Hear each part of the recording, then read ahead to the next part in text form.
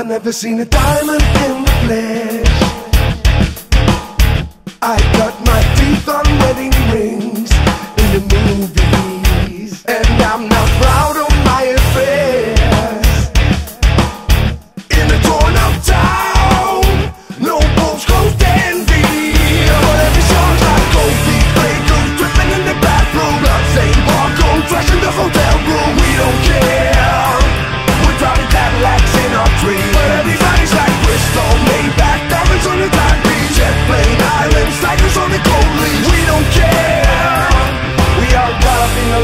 fear